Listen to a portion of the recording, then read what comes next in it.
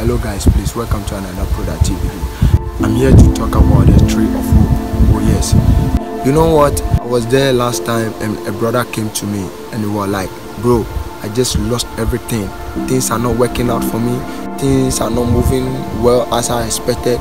And I was like, bro, I was kind of, you know, feeling sympathy. I was kind of like feeling slow. I was kind of feeling retarded about my brother. What came in mind on this quotation that when a tree has been cut off, when you get water, it will grow back again.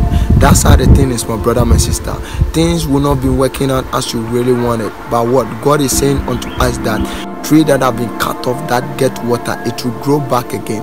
So things will be lost. But what God said we should, you know, that it will make the things that have been dead in our life grow back again. That's how the thing is. The tree that God is talking about in Job chapter 14, verse 7 to 19 is talking about the tree of hope. This tree have been cut off last time, but within a few weeks that it rained, that it get water. Look at what it's growing back again. It's sprouting of what a different branches. It's growing back with what a different branches.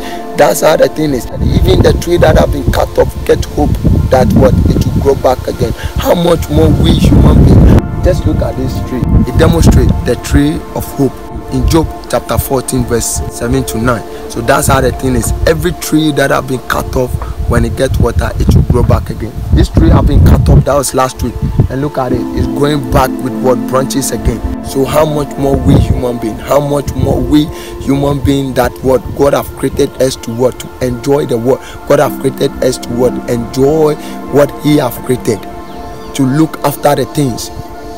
You see, so when things are not working out, just have hope that it will work out for good. You see, that's how the thing is. This tree over here represent exact thing that God is talking about. So my brother, my sister, don't be too worried that you know you've been cut off. Don't be too worried that the enemy have removed your blessing. The enemy have cut off every channel of yours.